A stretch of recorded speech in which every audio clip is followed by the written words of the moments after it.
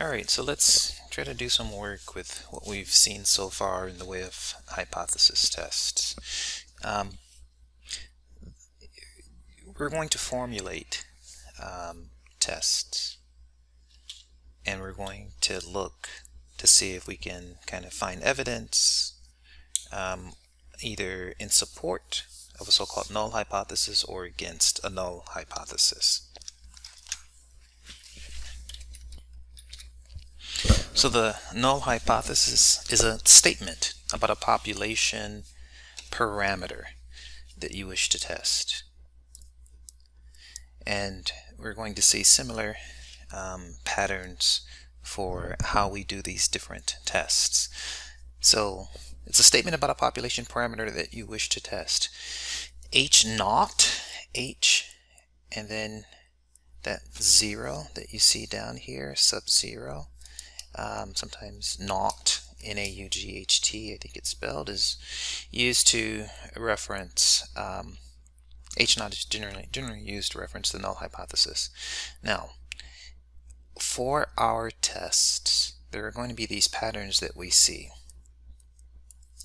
where we determine a test statistic, right? And by test statistic, I mean one of these three values. And then once we get this test statistic, we want to know um, if that is an improbable value. Um, so we're going to do a comparison. Either we'll get the probability of these values occurring or we'll compare any of these test statistics to um, critical values. Um, and so there are two ways of doing it. So critical values are typically the easier way of doing a hypothesis tests. Um, so in a nutshell, you'll have some sample IQ, sample age, sample height, sample weight. Um, you'll compare that sample IQ to what some accepted value might be. So maybe the accepted IQ is 100. You're going to get a sample of individuals, maybe 49 of them, and you're going to say, all right, what if those individuals have a particular IQ? And you're going to measure that distance from the assumed value, what we're going to call the null hypothesis value. If that distance is too great, um, statistically it's not supposed to happen. So we need to define what that means as to it being too great. And there's a parameter, so-called confidence level alpha, that we're going to use to help us know when to accept or reject. So for all of our tests, we're just getting a sample and seeing how far away it is from some given value. That, by and large, is what our hypothesis test will do for us. Um, so we can do it in terms of means, given um, given some population mean, we can go get a sample and find out what the average is and see how far away we are. Um, and then which uh, one of these test statistics we use. In this case, if we're looking at means, right, if we're looking at means, it's going to depend on whether or not we have sigma or whether we don't. So from our, if we don't have sigma, um, then we're going to use a t-distribution. Um, this t-test, and since we have our sample, we can always get the sample standard deviation. Um, and then once we get those values, we can just make a comparison, and then we can make our decision. Now, the one above here at the top, kind of similar in that we're seeing how far away we are from assume from some assumed proportion and then seeing the probability of that occurring. So all of these follow a pattern. We have assumed values and then we have samples and we want to know how far away is our sample away from some null hypothesis value. Um, the idea of it being null or zero is kind of the initial null fundamental value um, and then the value that we generate sometimes is called the number one or the alternative. Um, the other tests, once we get comfortable with the mechanics of generating a test statistic coming from our sample, um, we're going to move to generating a test statistic again, but we may have two samples. For example, if we say that um, there's a belief that the difference in um, between the men and women that wish to vote for a candidate, maybe it's believed that the difference in between men and women and their likelihood to vote for a candidate um, might be 0.05 we do the subtraction. Maybe men have a 55 this is what we know about the population. It's it's told that um, men are 55% uh, want to vote that's the percentage or the proportion that wish to vote for a candidate versus 50% that difference is 0.05 if you believe that um, that that difference is something else you can go maybe go to a class and sample them and you may find that um, the men actually it's maybe 57% that wish to vote for a candidate. Let's make this more realistic here. Um, and make this 0.1 has to add up to 100 and so and then this might be 0.43 your numbers could certainly look different. Um, so uh, the difference between those would be 0.15. So what's the likelihood that that could occur by chance?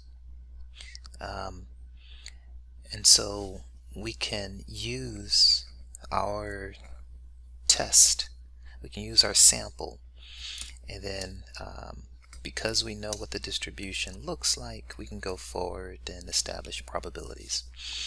Um, so that's for proportions, and that's for two populations. So you'll see on your calculator something like 2 prop, 2 proportion versus 1 proportion, z-test, um, um, and it's referring to whether or not we're looking at we're looking at just one sample or two sample proportions or even two sample means. Maybe the difference in test scores between men and women um, might be some assumed value well, you can go and get mean scores between men and women, um, um, average scores, and then determine if that difference is significant or not. Um, and which one we use, once again, is going to be uh, determined by whether or not you have the population standard deviation here, sigma, or whether you, right, do you have the population standard deviation or do you just have the sample standard deviation? So notice that all of these simply follow the same pattern. And these examples that um, that we're looking at take us through, if you get comfortable with this pattern, this takes us through chapter 8 and then with two populations it moves us into chapter 9 um, and then it, once we move forward into um, the next chapter, um, chapter 10 or chapter 11, um, chapter 11 also deals with generating a, a, a different test statistic, chi-squared. Um, but we're going to use that test statistic that's generated and then make a comparison um, to some critical value. So for all of these, we're generating test statistics from a sample um, and then looking to see if that goes beyond some critical value. Um, so that's the pattern. The alternative hypothesis versus the null hypothesis.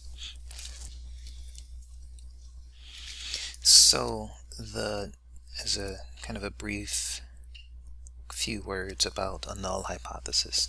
The null hypothesis we will typically state H for hypothesis 0 to indicate that it's the null hypothesis colon so dot dot.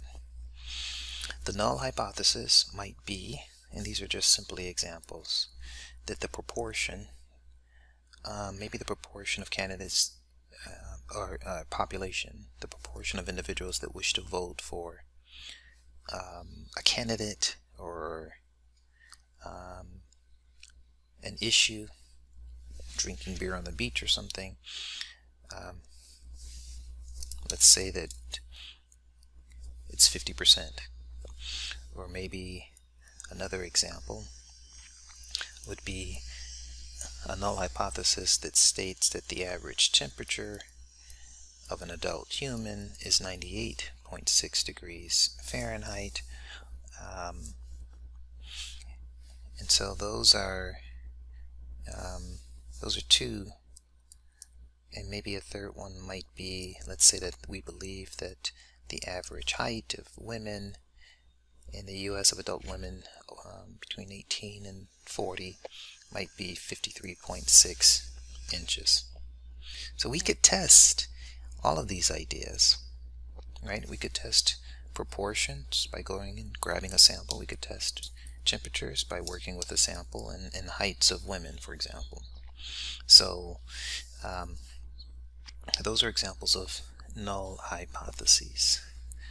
Um, for the alternative, an alternative statement would be something like this, where sometimes you'll see an H1, um, and more commonly you'll see just simply H1. Well, I, and I'm, I'm not going to say that's more common. You can see an H1 or an HA. So let's let's use the HA alternative hypothesis for um, kind of structure. So the alternative um, to this one right here is that either you believe that it's possibly less, you have some reason to believe that it's less. Let's, let's put those two there. So this is the null. The alternative hypothesis may be that you believe that um, less than 50% of the population wants to allow bear on the beach or wants to allow um, a particular issue or wants to vote for a particular candidate. So you may believe that it's to the left of that, meaning it's less than. Um, and the typical kind of structure is that it looks like this. This would be a statement of a null hypothesis and an alternative hypothesis. And then we move forward with getting a sample, and that sample may be something like this, and we want to know what's the probability of that occurring. Now, but the alternative could be um, we believe that we want to test this, or maybe the alternative is that we wish to test. Um, we don't know if it's necessarily, we don't have a belief that it's necessarily less than, so that it's not equal, or the alternative could be that we believe that it's greater than. So one of these will be stated as the alternative hypothesis. So um, this one is to the left, this one's just simply not equal to the null hypothesis, and this one is assumed to be greater.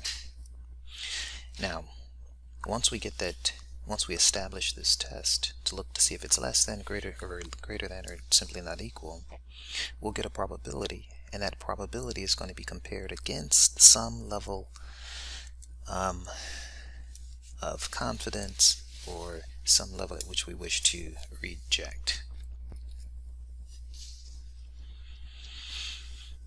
So in our test, um, we're going to decide to reject the, um, the, the null hypothesis. Like if we do our test and if our test statistic happens with a level less than say 5%, um, then we're going to um, make a decision as to either accept or reject the null hypothesis.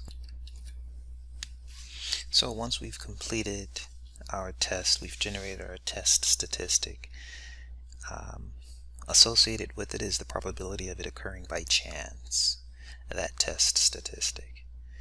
And so that probability, since we know the distribution, we can figure out what that probability is. Is it 7% that, that we generated? Is it 7% um, likelihood that that could have been generated by chance, 8%, 5%, whatever it is, we need to compare it to some other value. And we're going to say if that value that we've generated um, is less than, um, right, if it's less than alpha, then that's strong evidence against um, the null hypothesis. Strong evidence against the null hypothesis if the probability of an event occurring is less than um, the significance level.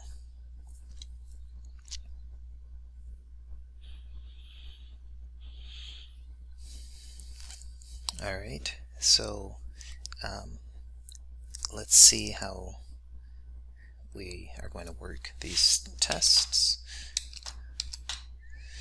Um, the typical setup for for these tests will look something like this. And all right, um, depending on if it's a left-tailed, right-tailed, or a two-tailed test, it's going to be one of these three kind of frameworks. So I will use this as a rubric.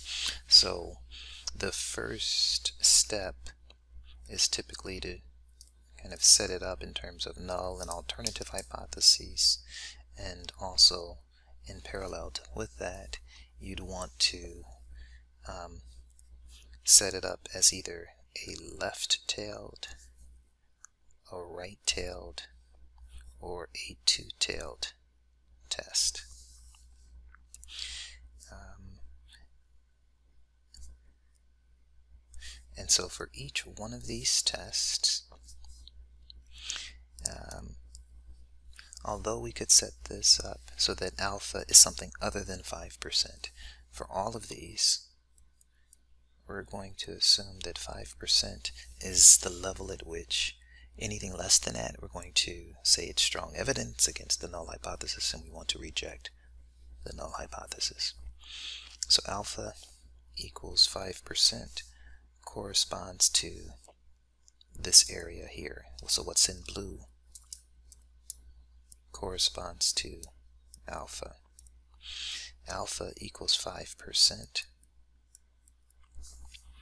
corresponds to that area and alpha of course, um, equaling 5% means that 2.5% and 2.5% um, is what we're looking at probability that that alpha occurs, that this test statistic occurs either to the left or to the right. If that's less than 5%, then we're going to reject the null hypothesis. Um, now, there is a z-value um, at which we're going to um, compare everything against. So this isn't our test statistic, it's the z-value that corresponds to 5%. So that critical value that corresponds to 5% can be determined by inverse norm and then the area that we're looking at is 0.05. If that area is something other than 5%, then we would have to put that area inside of here. But to keep it um, simple or straightforward or consistent, we're going to use 5%. So the critical value at 5% um, is negative 1.6 for 5 and that's for a left-tailed test. The critical value um, for a right-tailed test at 5% well you would use inverse norm again area to the left of the point is 95 And if you plug in 0.95, you'd come up with positive 1.645. And the area um, to the left of this point is 0.025 and if you plug that into inverse norm on your calculator you'd get a critical value of negative 1.96 and over here positive um, this right here would be a 1.96 which makes sense plus or minus two standard deviations um, cover 95 and 100 percent is what we'd get by adding in the 2.5 and 2.5 so this is a fixed picture um, a fixed kind of rubric that we're going to use to guide us doesn't change much it's going to be one of these three what could change is the alpha level it could be 1% it could be 10% and that changes the critical value but let's work with 5% as the um, as the significance level. Right, that's the the value at which we'll say that the results of our test are significant or not. So let's do an example with this. So let's say we have two candidates. Mr. We'll call them Mr. A and Mr. B. They're running for city council. Um, Mr. A believes that 30% or fewer uh, of the population wish to allow oh pot smoking marijuana smoking in public areas so I'll say that this is um, they want to allow let's abbreviate it pot in the park 30% or fewer um, and the other candidate Mr. B um, what he believes is that that's not true um, he's essentially saying that yeah Mr. A you're you're wrong um, so he believes that the opposite of that is true so whereas Mr. A believes that 30% or fewer wish to allow pot in the park, um, Mr. B believes that it's actually greater than 30%. Um, that it's just simply greater. As a convention, what your uh, textbook author suggests is that um, when looking at these two, the, the one with the equality is the one that we're going to set as the null hypothesis, and we're going to only take the equality. So when we set this up as a null hypothesis, the null hypothesis isn't going to be less than or equal, even though that was the statement. Um, we're going to just simply take the equality. And then the alternative is this right here. So I'll write that again in a second. Um, so Mr. B says you're wrong. So he sponsors a survey to sample a number of people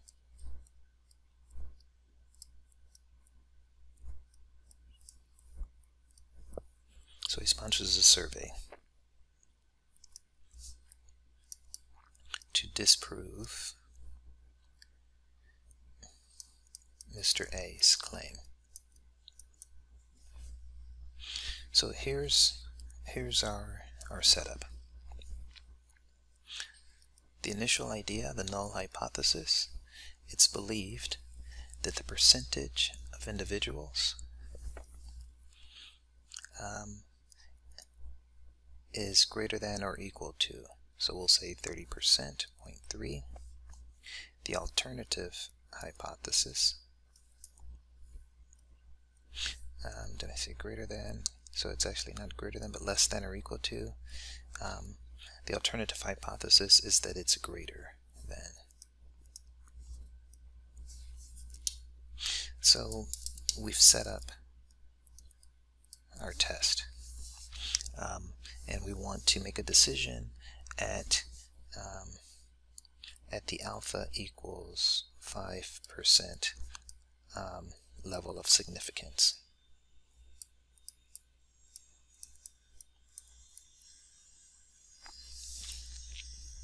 So alpha equals 0.05. And once we know that we're testing either left or right, we also we also have the level of significance.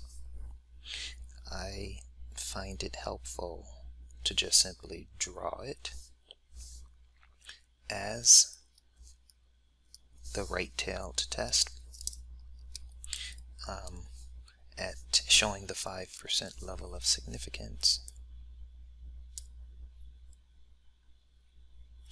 And then also showing the value, the critical value that corresponds with that, 1.645.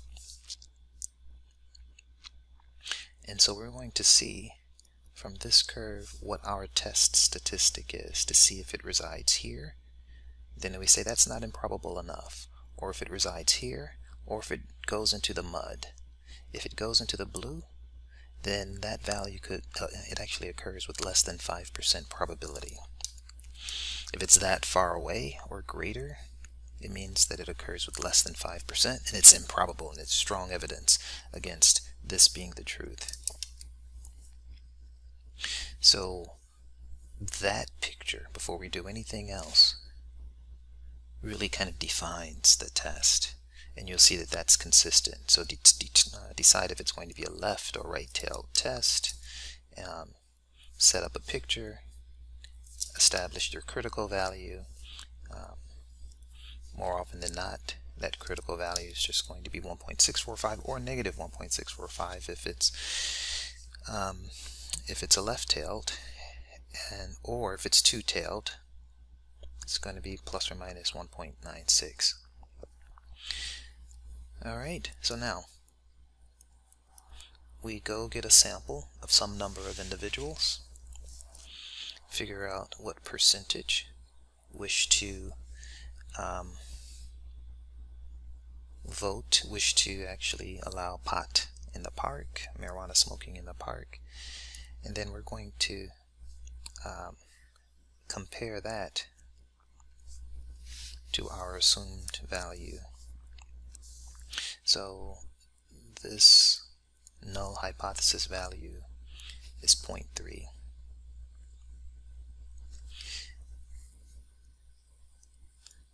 And then we're going to do the bit of math to determine what that z-value is.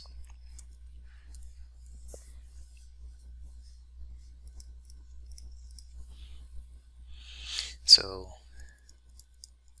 in a simple random sample of 400 voters, 160 favored pot in the park. That tells us that our sample proportion is 160 out of 400 or 0.4.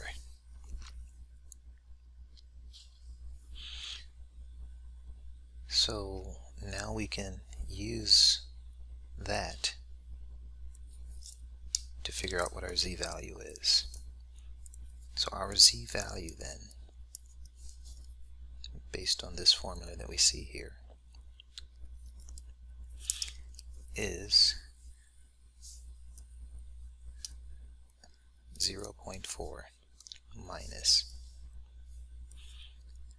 the null hypothesis value of 0.3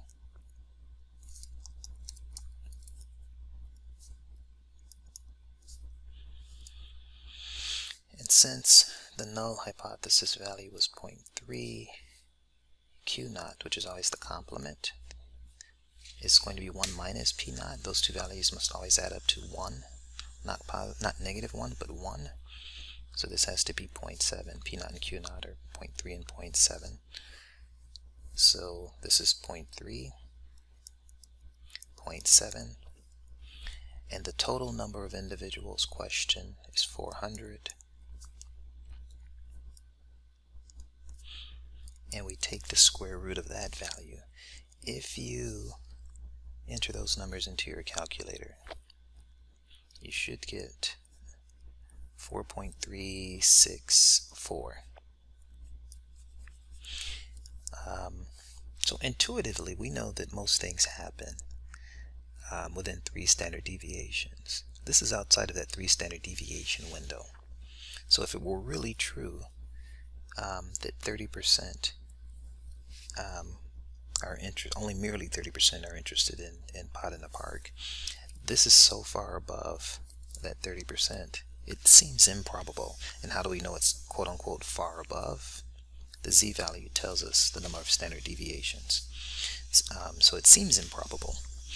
Um, not only that, we have our 4.364 and our 4.364 that we just determined goes beyond the 1.645 and it's somewhere to the right of it. So 4.364. So we've gone into um, this area here where it's improbable um, that this could happen merely by chance. Um, so this is strong evidence against the null hypothesis. It's strong evidence against Mr. A's belief, which was the null hypothesis. So just comparing our z value to the critical value. So since our test statistic, that, since it's greater than our critical value, meaning we're kind of in the blue, in the mud, um, we're going to reject the null hypothesis. Um, and then the other thing is, is that's that's either one of these is going to be sufficient. Either we do this one or we can make that same conclusion by looking at the probability of that value occurring. So that alone is enough for us to stop reject the null hypothesis. That's just based on determining the test statistic and seeing if it's greater than a critical value. The test statistic and seeing if it's greater than a critical value. Now, the p-value, what's the probability of that occurring? Um, we can determine that as well. That 4.364 that's here, if we want to know the area right? That corresponds to the prob that gives you the probability of a value that large or greater occurring, right? If we want to know the probability of a value z greater than 4.364 occurring, um, then um, then we can use normal CDF. The left bound is the 4.364 the right bound goes all the way out to 99999, what I'll typically call positive infinity in this case. If you plug that in, you'll get a 6.4 times 10 to the negative 6. 1, 2, 3, 4, 5, 6.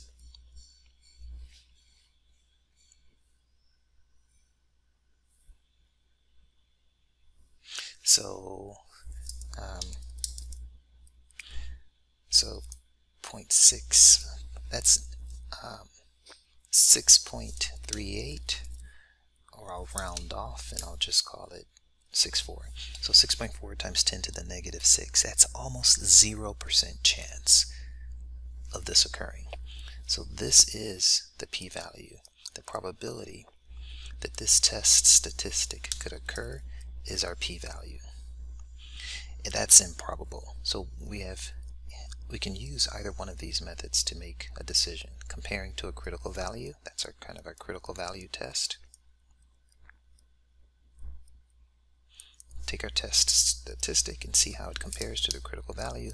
And then the other test is our p-value test. And so since if the p-value that we get is less than alpha, then, right, if our p-value is less than alpha, our significance level,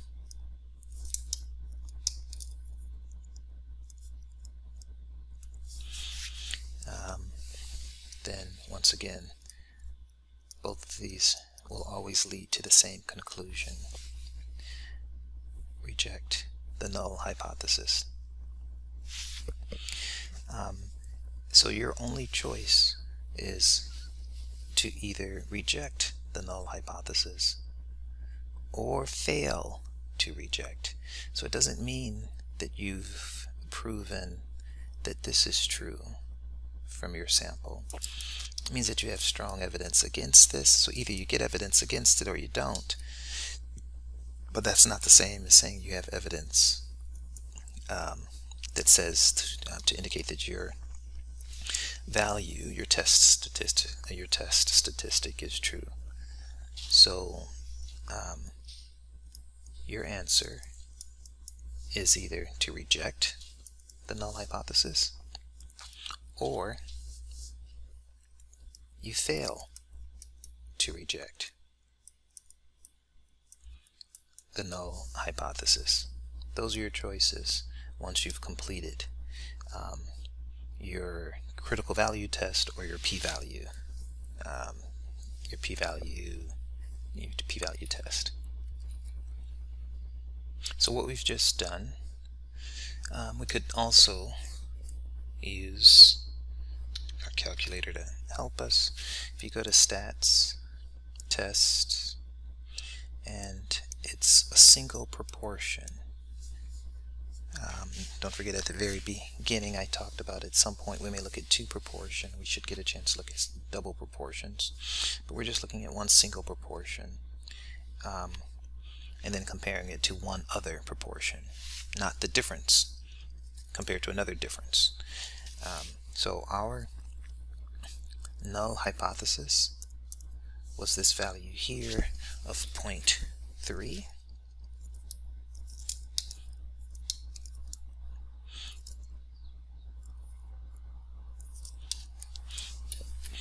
and our proportion that we're looking at um, was 160 out of 400 so the 160 voted um, this way 160 voted um, to approve pot in the park out of the total of 400, notice that this looks like numerator over denominator. It's helpful to remember. And then here we get to choose which test we're looking at. Is it a two-tailed, a left-tailed, or a right-tailed? And it was a right-tailed test that we just did. And let's do the calculations. And looking at what we see here, we should have the same values. That one was lost. Let me go back, make sure we didn't lose the information that was put in there. One prob z test. Keep the values. Drop to the bottom. Let's do the calculation. And we have that right there. So using our TI-84 calculator, doing a right tilt test as indicated, generating, we'll see that it, it, does the work for us, generates z equals 4.365 and a probability of 6.4 times 10 to the negative 6. And those numbers that we're looking at, the 6.4 times 10 to the negative 6, we know where they're coming from. Um, and the 4.364, we know where that's coming from. It's just automating some of that work for us. And since we initially drew this as our rubric here, we know that our rejection level, our critical value of 1.645, if we had just simply punched these numbers into the calculator, we would have looked at our test statistic and we would have been able to compare this to 1.645 to see that um, 4.6 exceeds the 1.645 and it gets us into this um, this level of at which we are going to reject the null hypothesis. So it gives us both pieces of information. It gives us the test statistic here and it also gives us the p-value, the probability at which that test statistic occurs. Um, it tells us what our sample um, proportion was, the 0.4, and we determined that previously ourselves. So it just automates that process for us. So that's how you do a, um, a hypothesis test, a right-tailed hypothesis test for proportions. Um, now, the next thing that we're going to look at is how you would do a hypothesis test um, dealing with means. And let's make this one a left-tailed test. Um, and also, before we do that, let's summarize this.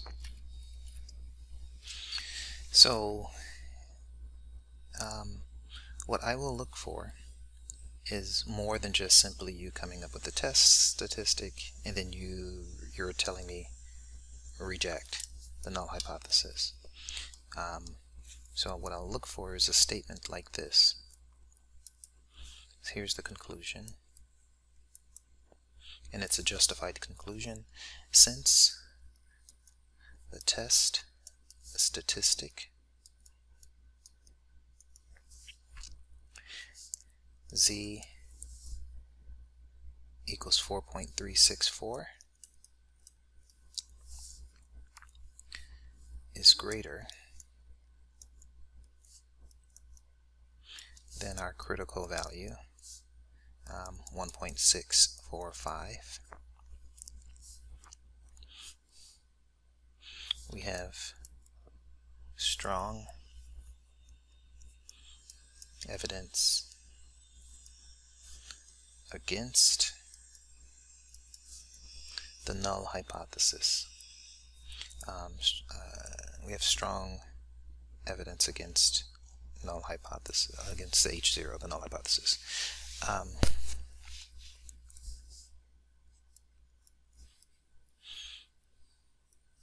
so we reject H0. And what this says is that the data that we've gathered provides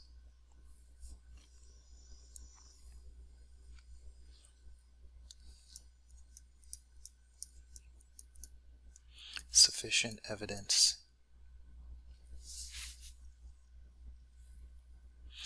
And now here's where you make a statement about rejecting the null hypothesis. And so we want to say the opposite of what it was. Um, provide sufficient evidence um, that the actual proportion of voters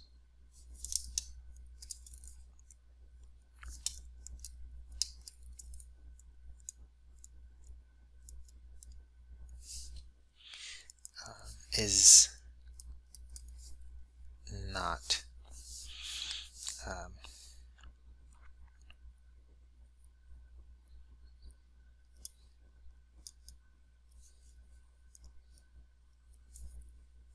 greater than or not less than. So um, so he believed that it was fewer 30% or fewer that it's not um, 30% or fewer in support of pot in the park.